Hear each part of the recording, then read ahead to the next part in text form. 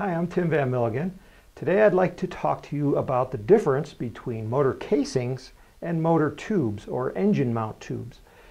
This is a common question in model rocketry. Um, I'm not sure why it is, but uh, apparently people are going to the launch ranges and they're hearing these terms, motor casing and motor tube, and they don't understand the difference. Uh, so today I'm going to try to explain it. Um, so a motor case a case is a, um, a container. So this is a motor case, and as you can see, it is a tube, uh, but it is a specific tube to hold rocket propellant. Uh, this is a Cesaroni motor, and this is the rocket propellant. It's inside of here. So there's the propellant. Um, and that goes into the motor case, and you can just slide it in and screw it down and you can see it's plugged on both ends and this end is the nozzle where the flame comes out. Now motor casings come in a variety of uh, shapes and materials. Uh, this is the Cesaroni case and it's an aluminum case. Uh, the propellant is used just once and then discarded. So you burn the propellant and then you can stick a new one in. Aerotech has a case, it's also aluminum. It's a little bit different. The way the propellant goes is in is a little different and you can see videos on how to reload both of these motors, the Aerotech and the Cesaroni, on the Apogee website at www.apogeerockets.com. Um, and then there's all their casings.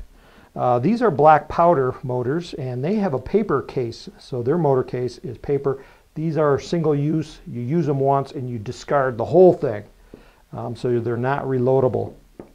Uh, Aerotech also makes um, casings that are plastic and these are also single use, you mean, meaning you use them once and throw them away.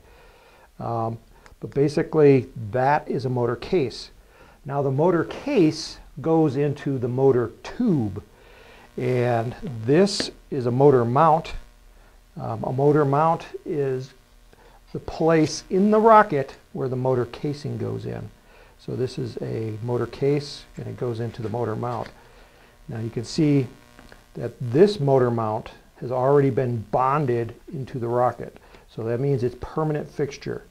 Um, so we have the motor mount and the motor mount tube because it is a tube, just like the motor case is a tube. But this tube accepts the motor casing. So I hope that kind of explains the difference.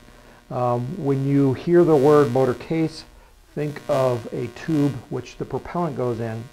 When you hear the word motor mount, that is the part of the rocket where the motor goes into. Um, and you'll also hear the word engine mount, engine tube, or motor tube, engine tube.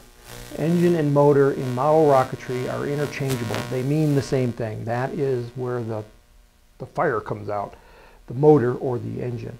So um, there's a lot of confusing terms. Hopefully this video has explained them to you. It's, it's not all that hard. Um, if you have questions, feel free to call us at Apogee Rockets. Um, our telephone number is area code 719-535-9335 or you can visit us on the web at www.apogeerockets.com.